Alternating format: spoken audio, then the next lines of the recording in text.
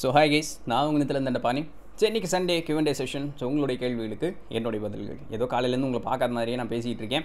Google meet so ரொம்ப சந்தோஷமாக இருந்தது. இன்றைக்கி இவ்வளோ பெரிய ரெஸ்பான்ஸ் இருக்கும்னு எதிர்பார்க்கல. நிறைய பேர் ஜூமில் கனெக்ட் பண்ணுங்க அப்படின்னு சொல்லியிருந்தீங்க.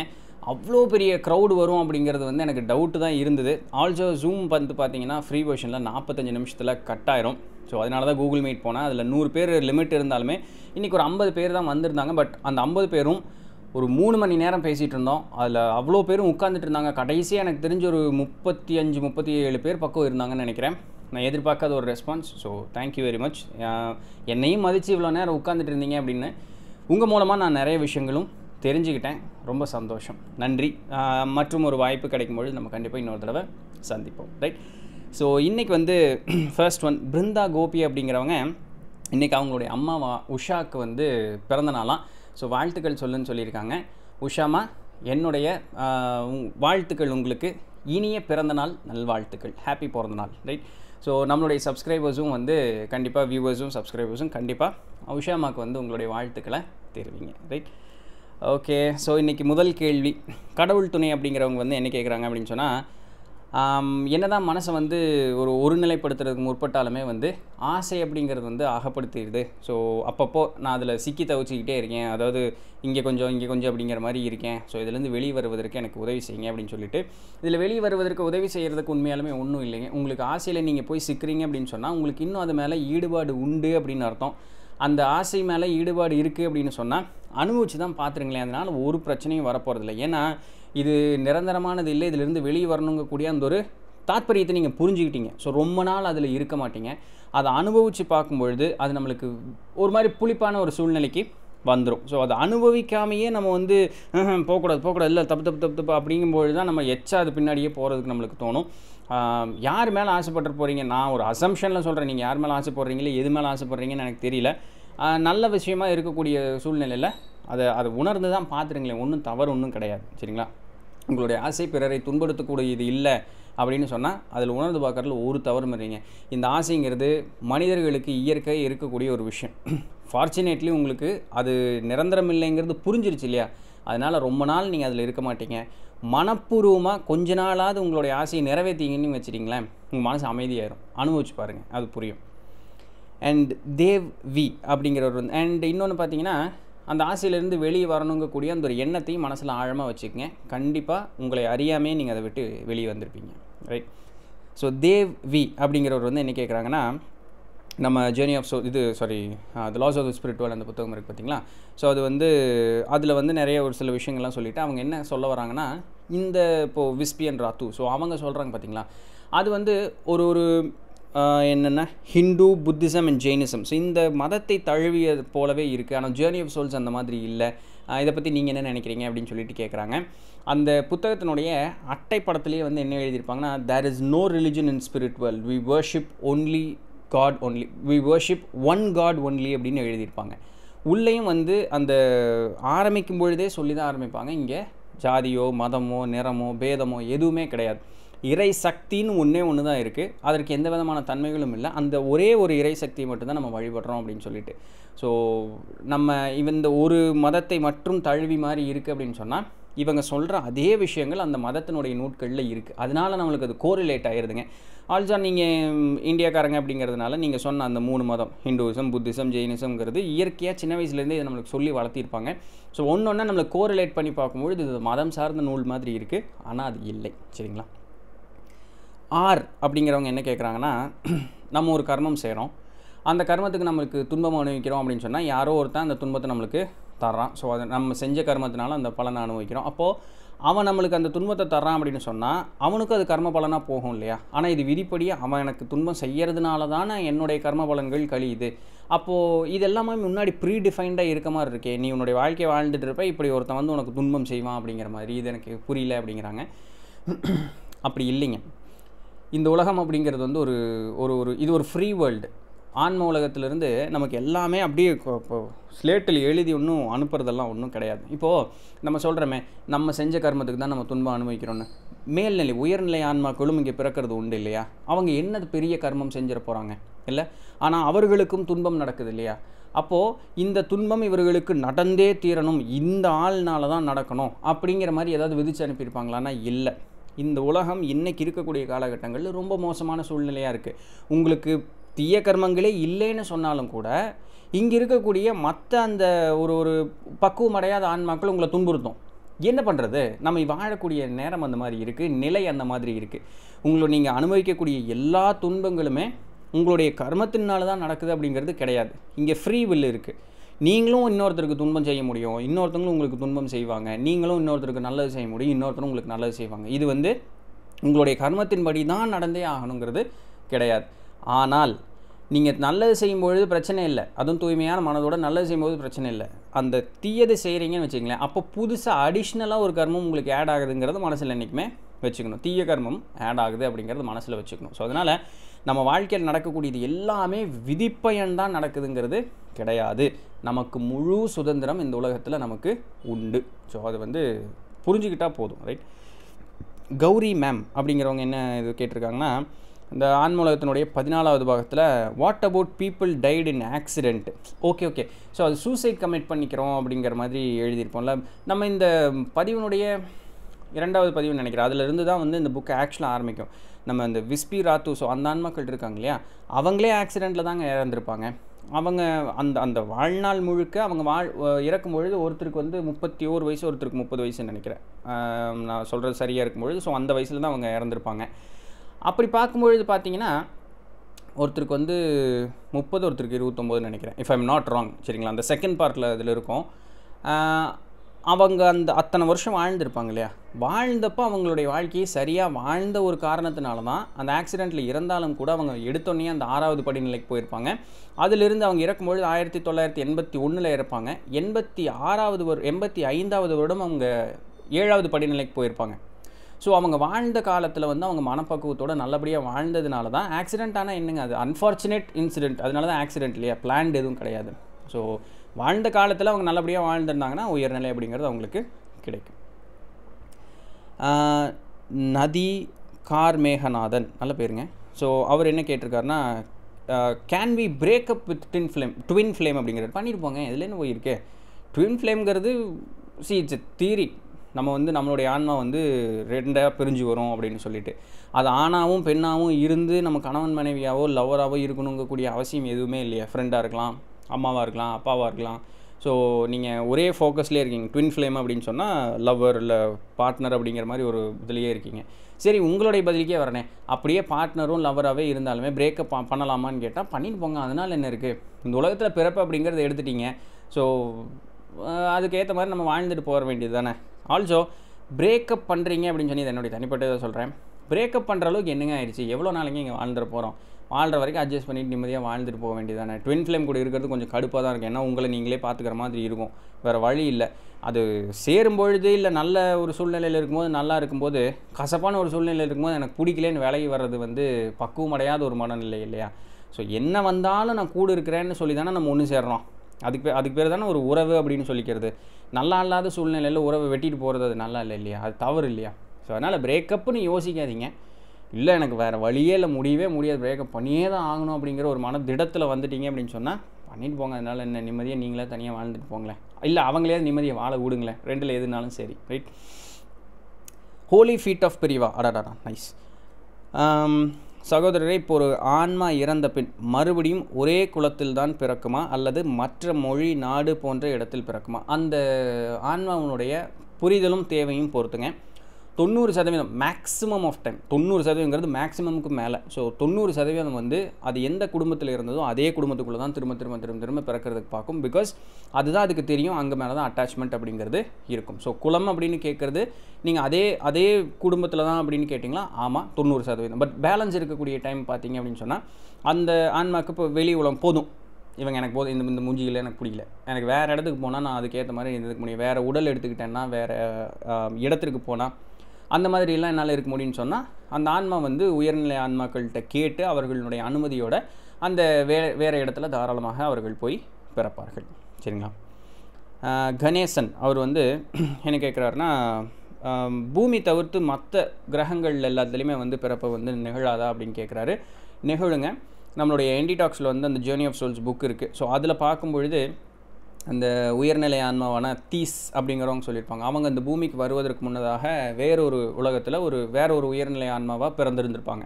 அது வந்து மிருக உருவம் மனிதன் மாதிரி இல்லை மிருக உருவம். பட் அந்த உலகத்துக்கு அது வந்து ஒரு intel higher intelligent being so அந்த உலகம் வந்து வெடித்து செதறிடுச்சான் ஸோ அதற்கப்புறம் வேறு எங்கே போகணும் அப்படிங்கிறதுனால இங்கே பூமிக்கு வந்ததாக சொல்லுவாங்க. ஸோ அந்த தீஸ் கூட அவங்களுடைய ஸ்பிரிச்சுவல் கைடான குமாரா அப்படிங்கிறவங்க வந்து ரெண்டு பேரும் அந்த கிரகம் அழிந்த காரணத்தினால இங்கே பூமிக்கு வந்ததாக சொல்லுவாங்க.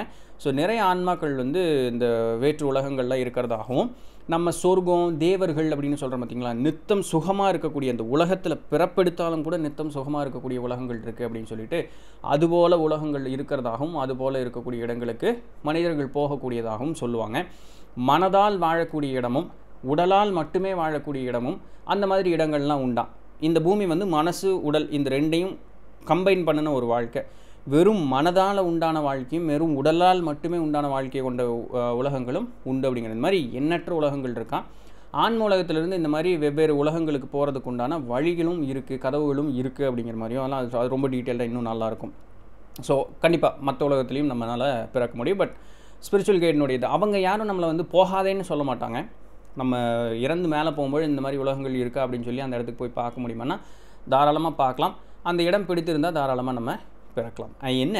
இங்கே பூமி நம்மளுக்கு பூச்சி போச்சுங்கிறனால இந்த ஒட்டுறவோட நம்ம இங்கேயே இருந்துக்கிட்டே இருக்கோம். வேறு ஒன்றும் இல்லை. அண்ட் அவங்க இன்னொன்று என்ன சொல்கிறாங்கன்னா பூமி வந்து கொஞ்சம் கடுமையாக இருக்கக்கூடிய ஒரு இது. இந்த இடத்துல ஆன்ம முன்னேற்றம் அடைவது அப்படிங்கிறது வந்து ரொம்ப எளிமையாக இருக்குது சீக்கிரம் அடைஞ்சிடலாம். ஏன்னா இங்கே இங்கே உருப்படாதவன் நிறைய பேர் இருக்கானுங்க. அதனால் இங்கே ஆன்ம முன்னேற்றம் அப்படிங்கிறது ஈஸியாக அடைஞ்சிடலாம். வேற்று உலகங்கள் அதற்கு உண்டான வாய்ப்புகள் குறைவாக இருக்குன்னு கூட அந்த தீஸ் அவங்க வந்து சொல்லியிருந்தாங்க. அவங்க ஹையர் பீயிங் அவங்க ஆக்சுவலாக ஸோ அந்த வழி பார்க்கும்போது பூமியிலே இருந்துட்டு போயிடலாம் இல்லையா? ரைட் கபில் செல்வா அப்படிங்கிறவர் வந்து என்ன கேட்குறாருன்னா ஆன்மா மனுஷங்களுக்கு மட்டும் இல்லை மிருகம் அண்ட் மற்ற ஜீவராசிகளுக்கும் இருக்குமான்னு கேட்குறாருன்னு நினைக்கிறேன். கண்டிப்பாக எல்லாத்துக்குமே அதாவது ஒரு சின்ன வைரஸ் பாக்டீரியா ஒரு நம்ம உடலில் இருக்கக்கூடிய red blood cell white blood cell எல்லாத்துக்குமே ஆன்மா இருக்குங்க. அப்போது அவங்களுடைய ஆன்மா எங்கே போகும்? அவங்களுடைய உயர்வு நிலை எப்படி இருக்கும்? அதாவது இந்த மாதிரி ஒரு உடல் அமைப்பை கொண்டு நான் பிறக்கிறேன் அப்படிங்கக்கூடிய அந்த ஒரு முடிவை அந்த ஆன்மாவை பொறுத்ததுங்க. ஸோ அதனுடைய தேவை முடிஞ்சிருச்சு ஓகே இந்த இந்த இந்த வேலையை செய்யணும் அப்படின்னு நினச்சேன். ஸோ அதனால் அந்த உடலை எடுத்துக்கிட்டேன். ஸோ அது முடிச்சுட்டு மேலே போகும்பொழுது அடுத்த அடுத்த பிறப்பு எடுக்கணும்னு விருப்பப்பட்டதுன்னா அது அந்த மாதிரி அடுத்த பிறப்புகள் எடுத்துக்கலாம். வாலண்டியராக மிருகங்களாக பிறக்கணும். வா அந்த மிருகங்களாக பிறந்தும் நான் அந்த துன்பத்தை அனுபவிக்கிற ஆட்களும் உண்டு இன்பத்தை அனுபவிக்கிற ஆட்களும் உண்டு அப்படிங்கும் பொழுது அந்த ஆன்மா அந்த பர்டிகுலர் உடலையும் அந்த பர்டிகுலரான வாழ்க்கையும் ஏதோ தன்னுடைய தனிப்பட்ட ஒரு தேவைக்காக தான் எடுத்துகிட்டு வந்திருக்கும். ஸோ இறந்து மேலே போகும்பொழுது அங்கே ஆன்மா அவ்வளோதான் நம்மளுடைய அந்த ரிமெம்பரன்ஸ் எல்லாமே இருக்கும். மிருகங்கள் இப்போ நாயே எடுத்துக்கோமே அது குலைக்குது அது என்ன சொல்லுதுன்னு நம்மளுக்கு தெரியல. ஆனால் டே இங்கே வாடா டே அங்கே போடா அப்படின்னாலாம் அது புரிஞ்சுக்குது இல்லையா? அந்த ஆன்மாவுக்கு நல்லாவே தெரியுமா? ஆனால் அன்ஃபார்ச்சுனேட்லி அதனால் நம்மளை மாதிரி பேசி நம்மளுக்கு புரிய வைக்க முடியறதில்ல. ஆனால் மனிதர்கள் போலவே அதுக்கு எல்லாமே எல்லா உணர்வுகளுமே உண்டு. ஏன்னா ஆன்மாங்கிறது ஒன்று தான் இல்லையா? ஆன்மாவில் எல்லாமே ஞாபகங்களுமே உண்டு. அது ஏதோ ஒரு காலத்தில் மனுஷனாக பிறந்திருந்துருக்கலாமா இருக்கும். நமக்கு தெரியாது அவ்வளோதான் நம்ம சேர்த்து மேலே போகும்போது நம்மளுக்கு அந்த மாதிரி உறவுகளை பற்றி நல்லாவே தெரியும். ஸோ அதனால் எல்லாமே ஆன்மா தான் எல்லாருக்கும் அந்த ஞாபகங்களும் உணர்வுகளும் உண்டு. அனைத்து ஆன்மாக்களுமே மேல்நிலை அடைவதற்குண்டான வாய்ப்புகள் கண்டிப்பாக இருக்கும். எல்லா ஆன்மாக்களும் மேல்நிலை அடைந்தே தீருவார்கள். சரிங்களா? எழுவாய் தமிழா அப்படிங்கிறவர் வந்து என்ன கேட்குறாருன்னா நீங்கள் சொல்வதை போல் அமைதியாக தான் இருக்குன்னு நினைக்கிறேன். ஆனால் இந்த சமூகத்தில் சட்டப்படி எனக்கு கொடுக்கப்படுகின்ற உரிமைகள் மறுக்கப்படும் பொழுது என்னால் கோபப்படாமல் இருக்க முடியலை முடியவில்லை. சமூகத்துடன் இருக்கும் பொழுது அமைதியாக இருப்பது கடினமாக உள்ளது. கோபம்தான் அதிகமாக வருகிறது அப்படின்ட்டு. என்ன பண்ணுறதுங்க இன்றைக்கி இந்த உலகம் அந்த மாதிரி ஆகிப்போச்சு நம்ம நிம்மதி நம்மளுக்கு வேணும் அப்படின்னு சொன்னால் முடிஞ்ச அளவுக்கு நம்ம அதை அட்ஜஸ்ட் பண்ணிப்போ எங்கள் தெருவுலேயே பார்த்தீங்கன்னு வச்சுங்களேன் தெருவு சுத்தம் பண்ணுறதுக்கு அப்படின்னு சொல்லி அந்த வேலைக்கு ஆள் நியமனம் பண்ணியிருப்பாங்களே ஒரு நாளும் வர்றதே இல்லை. நம்மளுக்கு அதெல்லாம் பார்க்கும்பொழுது கஷ்டமாக இருக்கும். நம்மளே போய் அந்த வேலையை செஞ்சனாலும் உண்டு. எங்கள் அப்பா செய்வார். என்னை செய்ய விட மாட்டாங்க எங்கள் வீட்டில் எங்கள் அப்பாவோ எங்கள் அம்மாவோ ஏதோ ஒன்று செஞ்சுட்டே இருப்பாங்க. வேண்டாம் பேசாமல் இருங்க அவங்கள வர சொன்னால் செய்வாங்க. இல்லாமல் எப்போ வர்றதுன்னு போய் இவங்களே செஞ்சுட்டே இருப்பாங்க. அப்போது அவங்க கடமை உண்டானவர்கள் அந்த அதிகாரிகளும் சரி கடமை உள்ளவர்களும் சரி அவங்க அந்த இடத்துக்கு வர்றதில்ல. என்ன பண்ணுறது அவங்க நெக்லெக்ட் பண்ணுற ஒரு காரணத்தினால நம்மளுடைய வீடோ நம்மளுடைய சுற்றுச்சூழல் எல்லாமே பாதிக்கப்படுது. இது நான் ரொம்ப சிம்பிளாக வீட்டுக்குள்ளே நடக்க வீட்டுக்கு பக்கத்தில் நடக்கக்கூடிய விஷயம் சொல்கிறேன் இது எல்லா இடத்துலையுமே நடக்கும்.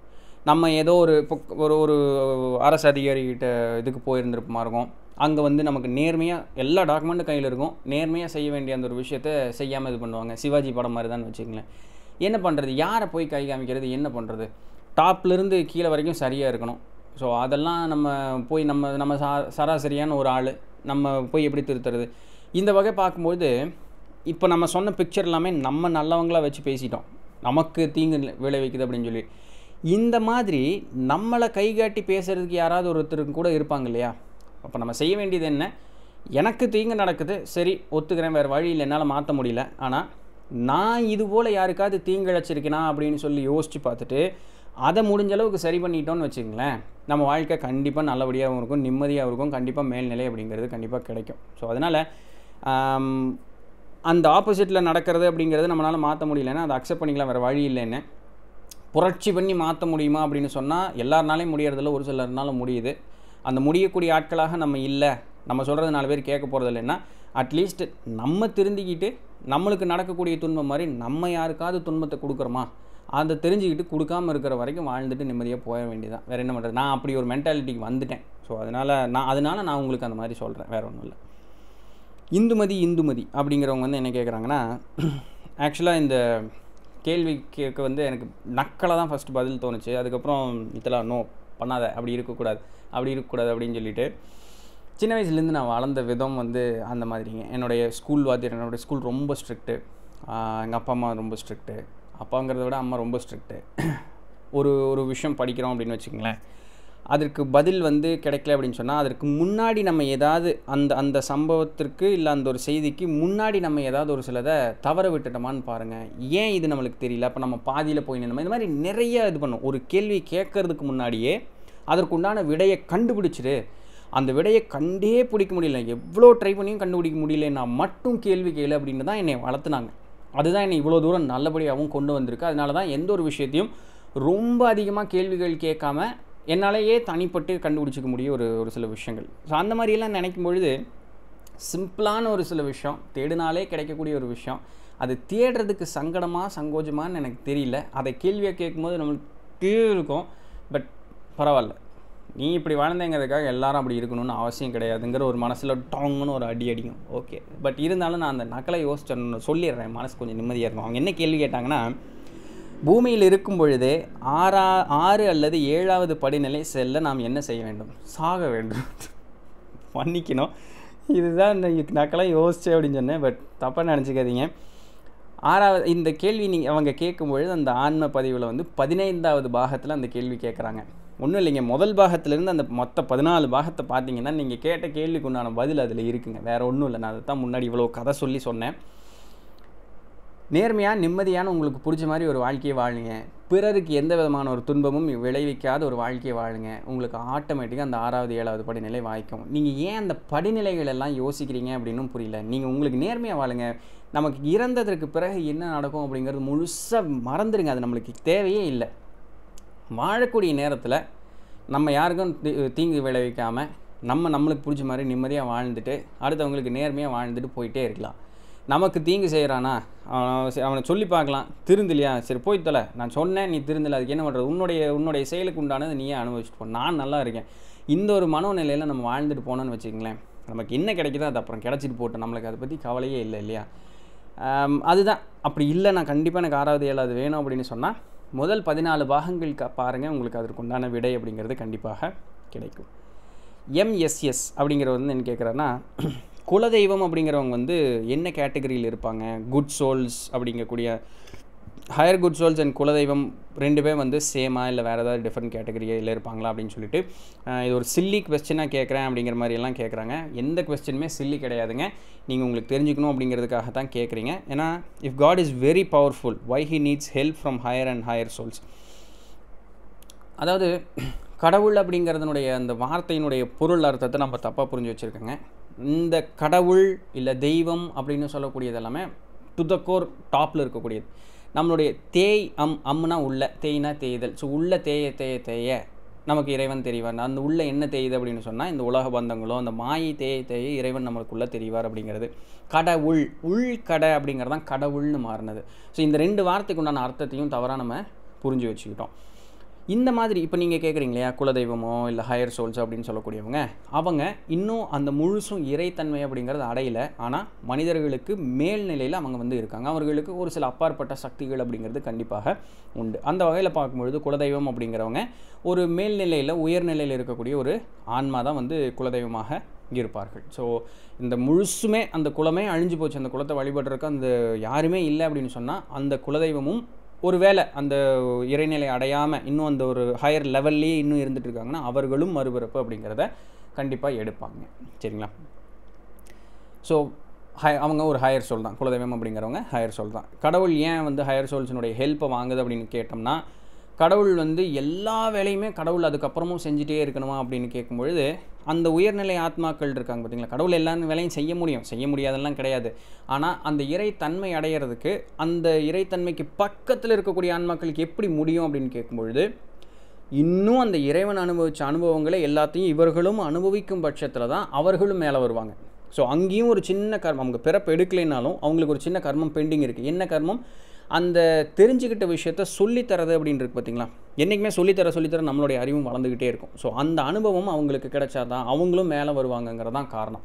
அதை தவிர்த்து இறைவன் வந்து எல்லா வேலையும் செய்ய முடியாதா? அவருக்கு ஏன் இப்படி ஒரு ஆள் வச்சு செய்யணுமா அப்படின்னு கேட்டால் இவங்களும் அந்த வேலையை செய்யும் பொழுது தான் அந்த இறைத்தன்மை அப்படிங்கிறத ஈஸியாக அவங்களாலையும் அடைய முடியும். அந்த ஒரு காரணத்திற்காக தான் ஏன்னா நம்ம கடவுள்னு சொல்லக்கூடியதும் ஒரு பயங்கரமான ஒரு ஹையர் லெவலில் இருக்கக்கூடிய ஒரு ஆன்மா தான் அந்த ஆன்மாவும் எல்லா பிறப்புகளும் எடுத்து கஷ்டப்பட்டு அந்த ஒரு நிலைமைக்கு வந்திருக்கும். கண்டிப்பாக ரைட் எம்எஸ்ஆர் ஸ்கல்ப்ஸ் அப்படிங்கிறவர் என்ன கேட்குறாருன்னா sir please say is eating non veg good or bad இதுக்கு நான் எப்போ பதில் சொன்னாலும் எனக்கு பஞ்சாயத்தான் வந்து முடிஞ்சிருது. நான் முடிஞ்சேன்னா கீழே அந்த வீடியோ லிங்க்கெல்லாம் ஏற்கனவே இதுக்கு முன்னாடி என்னென்னலாம் பேசியிருக்கணும் அந்த வீடியோ லிங்க்கெல்லாம் கீழே தரேன் பொறுமை இருந்ததுன்னா விருப்பம் இருந்ததுன்னா தாராளமாக போய் பாருங்கள் குட் ஆர் பேடுங்கிறதுக்கு ஒன்றும் இல்லைங்க. ஏன் அதை சாப்பிட்லாம்? ஏன் அதை சாப்பிடக்கூடாது அப்படிங்கிறது நிறைய பேசி பேசி எனக்கு சளிச்சே போச்சு. ஸோ அதனால் அந்த வீடியோ லிங்க் கொடுக்குறேன். அதில் பார்த்துக்குங்க. சரிங்களா? ஏன்னா நான் நீங்கள் என்ன பதில் சொன்னாலும் என்னை திட்டத்தான் செய்வாங்க எல்லோரும். வில்லேஜ் ஃபுட் மலேசியா அப்படிங்கிறவர் வந்து சித்தர்கள் சொன்ன பிறப்பு விஷயத்திற்கும் நீங்கள் சொல்கிறதுக்கும் வேறு வேறு மாதிரி இருக்குது அப்படின்ட்டு சத்தியமாக இதை நான் சொன்னது இல்லைங்க. இந்த வருங்க அந்த புத்தகத்திலிருந்து நான் சொல்லிக்கிட்டு இருக்கேன். ஏன்னா நான் எந்த ஆன்ம உலகத்தையும் போய் பார்க்கல நான் இன்னும் அவ்வளோ பெரிய ஆள் ஆகலை.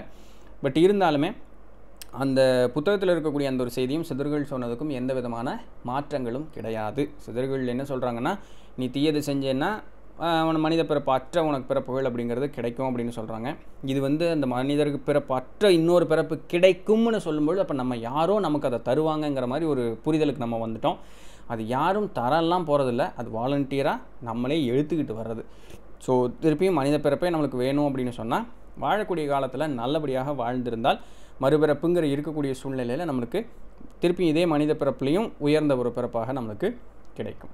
ரொம்ப கீழ்த்தரமான ஒரு வாழ்க்கை வாழ்ந்தவன் வந்து மலத்தில் ஊறும் புழுவாக பிறப்பான் அப்படிங்கிறாரு திருமூலர். அப்போது பிற அதான் பிறப்பான் அப்படின்னு சொல்லும்பொழுது யாரோ நம்மளை பிறக்க வைக்கிறாங்கங்கிற ஒரு அசம்ஷனுக்கு நம்ம வந்துடுறோம். இல்லை அது வந்து அவ்வளோ மோசமாக திருமூலரே சொல்கிறாரு அப்படின்னு சொன்னால் அந்த ஒரு பிறப்பை அவன் வாலண்டியராக எடுத்துகிட்டு வரான்னு அர்த்தம். ஏன்னா அவன் அவ்வளோ மோசமாக வாழ்ந்துட்டான். ஸோ அவ்வளோ ஒரு மோசமான ஒரு சூழ்நிலையில் நான் இருக்கிறேன். அப்படிங்கிற ஒரு இது.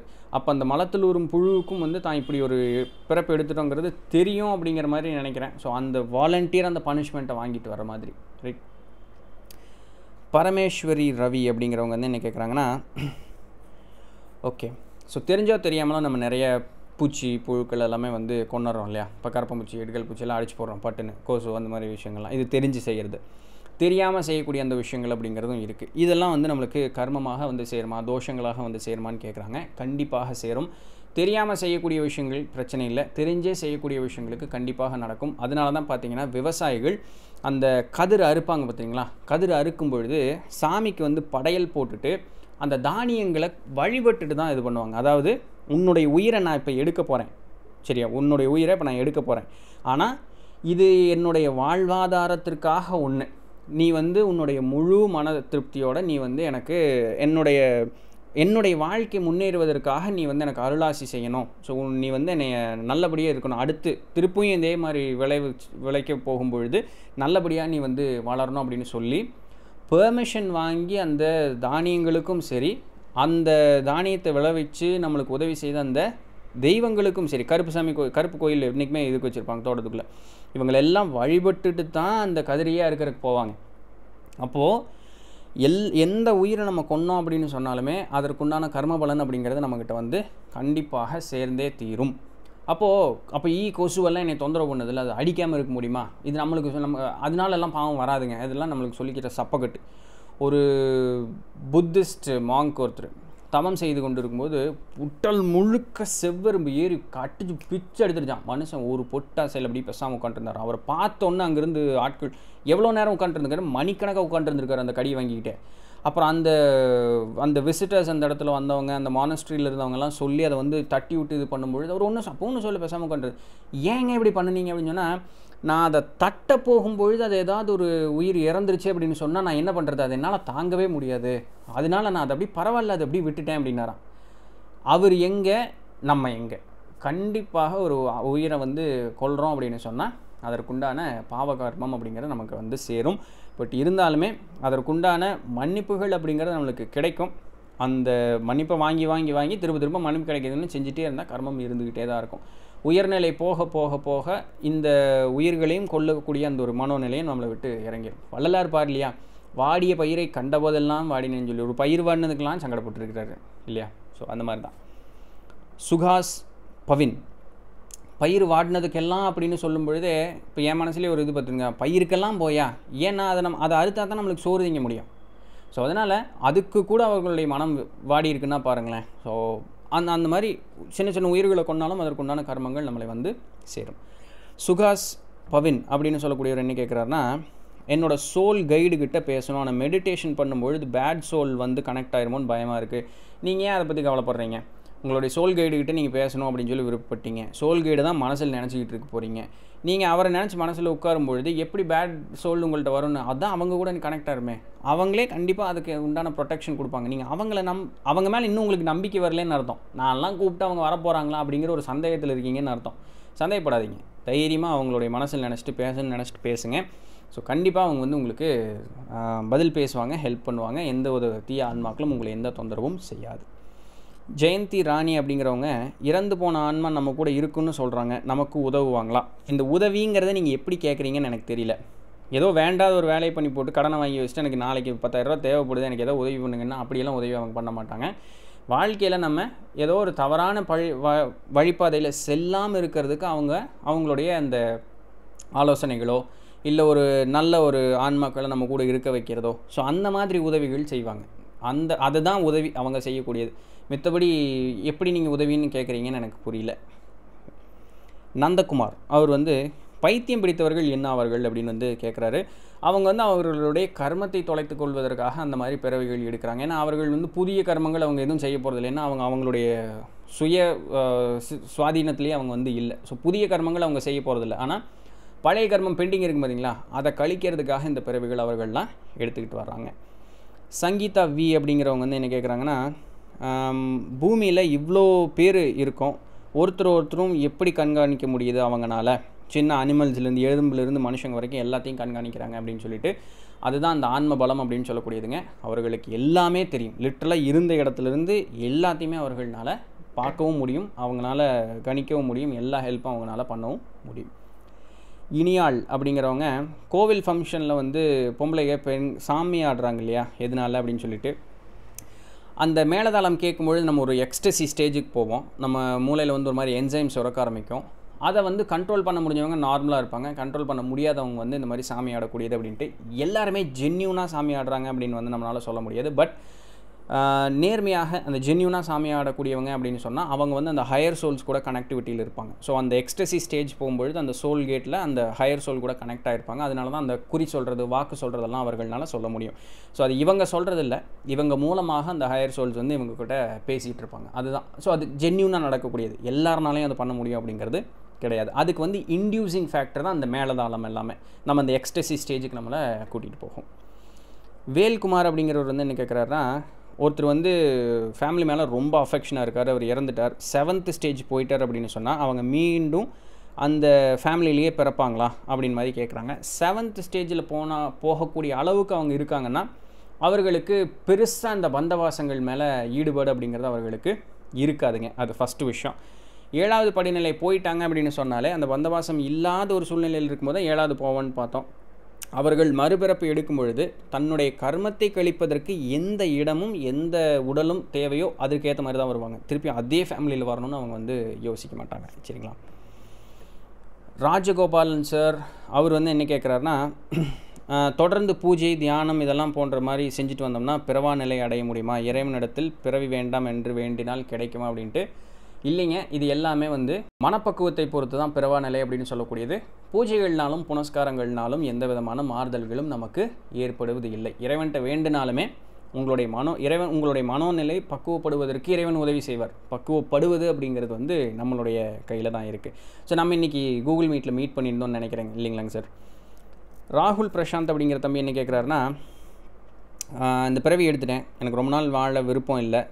என்ன கற்றுக்கணும் இந்த பிறவியை எடுத்தோம். அதை குயிக்காக கற்றுக்கிறதுக்கு சீக்கிரம் இந்த உலகம் விட்டுட்டு போக ஏதாச்சும் ஆப்ஷன்ஸ் இருக்கா? சீக்கிரம் இந்த உலகத்தை விட்டுட்டு போகணும் அப்படின்னு சொன்னால் நிறைய ஆப்ஷன்ஸ் இருக்குது பட் இருக்கும் பொழுதே வந்து இருக்கிற நாள் வரைக்கும் நான் கற்றுக்கிறது என்ன முயற்சி பண்ணி கற்றுக்கலாம் அப்படின்னு சொன்னால் ஃபஸ்ட்டு எப்படி நல்லதாக வாழணும்னு கற்றுக்கலாம் எப்படி வந்து மனசை வந்து பக்குவமான ஒரு மனோநிலை அதாவது ஆப்போசிட்டில் இருக்கவங்க மோசமானவனாகவே இருந்துட்டு போட்டோம் நல்லவங்களும் நம்ம கண்ணு முன்னாடி இருப்பாங்க. ரெண்டு பேர்த்தையும் ஒரே சம நிலையில் பார்க்கக்கூடியது எப்படி அப்படிங்கிறத நம்ம கற்றுக்கலாம் ஸோ இந்த மாதிரி விஷயங்கள் எல்லாமே டென்ஷன் ஆகக்கூடிய நேரத்தில் டென்ஷன் ஆகாமல் ஏன் அந்த மாதிரி சூழ்நிலை நடந்தது? அதை பக்குவமாக ஹேண்டில் பண்ணுறதுக்கு நம்ம தெரிஞ்சுக்கலாம். ஸோ இந்த மாதிரி அடுத்தது இந்த உலகத்து மேலே இருக்கக்கூடிய அந்த ஆசைகளோ அந்த பந்தபாசங்கள்லேருந்து வெளியே வருவது எப்படி அப்படிங்கிறத கற்றுக்கலாம் உண்மை நிலைனா என்ன? இறைத்தன்மைனா என்ன? அப்படிங்கிறதெல்லாம் கற்றுக்கலாம் பிறரை புறணி பேசாமல் ஸோ அந்த மாதிரி விஷயங்கள்லாம் எப்படி இருக்கிறதுன்னு கற்றுக்கலாம் மனசை அமைதிப்படுத்தி தியானம் செஞ்சு அந்த ஒரு மேல்நிலை அடைவது எப்படி அப்படிங்கிறத கற்றுக்கலாம் ஸோ இந்த இதெல்லாம் நம்ம வாழக்கூடிய நாள் வரைக்குமே கற்றுக்கலாம் எனக்கு இருக்கிறக்கு பிடிக்கல சீக்கிரம் போகணும் அப்படின்னு சொன்னால் அது நம்மளுக்கு தேவையில்லையே. பிறந்துட்டோம். எப்போ போவோம் அப்படிங்கிறது இறைவன் முடிவு பண்ணிடுவார். ஸோ முடிவு பண்ணி தான் இங்கே அனுப்பியிருப்பார். ஸோ அதனால் போகிற நாளை பற்றி யோசிக்க வேண்டாம். இருக்கிற நாள் வரைக்கும் இந்த மாதிரி விஷயங்கள் நல்ல விஷயங்களை தெரிஞ்சுக்கிட்டு கற்றுக்கிட்டு அதற்கு உண்டான பயிற்சிகளோடு இருந்தோம் அப்படின்னு சொன்னால் நம்மளுடைய வாழ்க்கை மேலே முன்னேறி வரும் இல்லைங்களா? விஜயலக்ஷ்மி எஸ் அப்படிங்கிறவங்க என்ன கேட்குறாங்கன்னா மேலில் உள்ள ஆன்மாக்கள் வந்து சாப்பிடுவார்களா? அப்படிங்கிற மாதிரி கேட்குறாங்க அவர்களுக்கு நம்மளை போல் இந்த என்ன சொல்கிறது இந்த உலக பண்டங்கள் வந்து அவர்களுக்கு தேவையில்லைங்க. அப்படி இருந்தாலும் நம்ம ஏன் வந்து அந்த மாதிரி உணவுகளை படைக்கிறோம் அப்படின்னு சொன்னால் ஸோ நம்மளுடைய மூதாதையர்கள் அவங்களுக்கு வந்து இது பிடிக்கும் அப்படிங்கிறதுனால அவங்க வந்து இதை எடுத்துக்குவாங்க அப்படின்னு சொல்லக்கூடிய ஒரு நம்பிக்கையின் பேல் படைக்கிறோம். இருந்தாலுமே அந்த உணவனுடைய அந்த சக்தி இருக்கும் இல்லையா அந்த சாரம். அந்த சக்தியை வந்து அவர்களால் கிரகிச்சிக்க முடியும். ஸோ அதற்காக தான் நம்ம அதை படைக்கிறோம். ஸோ ஃபிசிக்கலாக அந்த நம்மளை மாதிரி சாப்பாடு எடுத்து சாப்பிட மாட்டாங்க. அந்த உணவனுடைய அந்த சக்தியை வந்து அவர்களால் கிரகிச்சிக்க முடியும். கண்டிப்பாக. ரைட் ஸோ இதெல்லாம் தான் வந்து இன்றைக்கி உண்டான கேள்விகளுக்கு உண்டான பதில்கள். அரை மணி நேரத்துக்கு மேலே போச்சு பண்ணிக்குவோம் பட் uh, பிடிச்சிருந்துருக்கும் நம்புகிறேன் நாளைக்கு வேறு ஏதாவது ஒரு சுவாரஸ்யமான செய்தியில் சந்திப்போம். அது வரையும் தொடர்ந்து இணைந்தர்கள் நான் உங்கள் இடத்துல நன்றி.